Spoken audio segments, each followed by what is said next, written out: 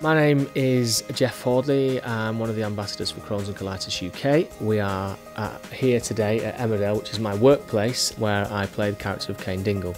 This is uh, the Woolpack, as you can see, and um, you can't see all the lights above us, but we're in the studio, and um, yeah, it's a lot of fun. I was diagnosed with Crohn's in, I think it, it was it was 1996, but I think it was about March 1996 to be precise. In my final year at drama school, I was doing Wuthering Heights. I wasn't playing Heathcliff because that's what everybody thought that my um, all the people from my year were like, yeah, he's gonna that's that you're gonna. I was playing Joseph, the old farmhand who was about 80 years old.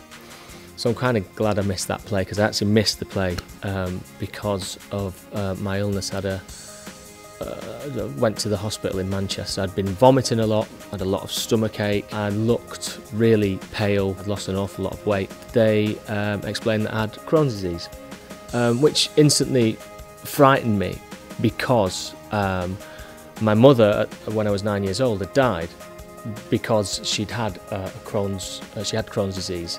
Um, so I just thought, oh, does that mean I'm going to die too? You know, um, obviously not the case. Uh, technology has moved on so much more since 1979.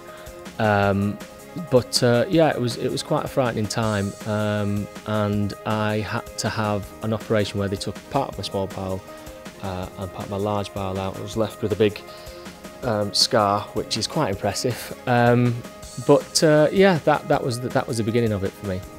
I became an ambassador um, for two reasons. One, uh, very, two very personal reasons um, kind of in memory of my mother, and also because I thought it was really important to support uh, Crohn's and Colitis UK and and and to, to to tell people out there that it's not you know it's not all doom and gloom.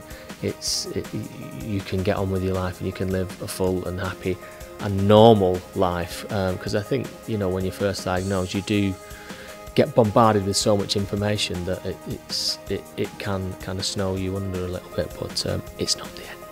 Uh, well, when I when I first um, was diagnosed, I, I got in touch with, with Crohn's and colitis. All the information and stuff that they sent me was was fantastic, and I've seen all the stuff that they've done for other people, um, and I just think they're a really important charity. Here in Leeds, we we want to raise as much money as we possibly can to get um, a couple of these machines in, in uh, St James's Hospital and, and the uh, Leeds Royal Infirmary. It's a machine where we you'll have a little belt, isn't it? And and you do this little tablet, and then it kind of works its way through your system, and then we'll kind of the camera will kind of show us what um, what's going on inside. It'd be a great thing if we can. Uh, I think we're gonna we're gonna try and do a ball. I'm gonna get some people from work to come down and um, and, and, we're going to do lots of other things um, to try and uh, because it's a, it's a really important machine um, for us to have. I think just I think speak to people and be open um, is is the best thing. I know it's not necessarily like I say I've had years of talking about toilets and, and, and going to the toilet and, and, and you know and using the word poo and da da da da. Um, I think don't be shy be positive. Um, talk about it to your friends, um, to to your loved ones, to to your family, um, and don't and don't despair because it's not the end. Um, you know, it, it's it's a, it's an illness that we learn to live with, um, and and everything will be all right. Hello, my name's Jeff Hordley. I play Cain Dingle in Emmerdale. I'd just like to say we need as much money as we can to fund research for Crohn's and Colitis UK. So please, please give generously.